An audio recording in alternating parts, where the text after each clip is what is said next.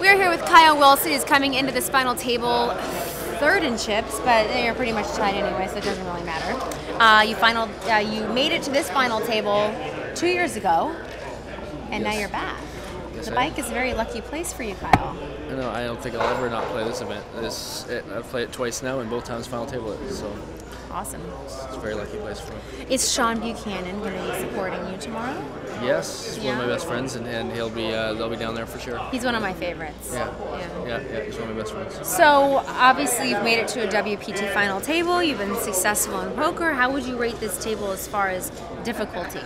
Um, it's it's it's a pretty tough table. There's there's some guys that have uh, have some experience and uh, look like they're pretty aggressive players. So it, it, um, I've been at, at tougher ones at maybe in, in, in some of the events, but but this is definitely a, a tough table. It's gonna be tough to, to take to, to take down. Any mem- memorable moments from today? Memorable moments. Um, I guess the hand where I doubled up when I had two aces um, and made uh, made uh, the nut flush um, and, and double up. It was like over a two million dollar pot. That would be the most memorable. moment. That's memorable. Yeah, it was.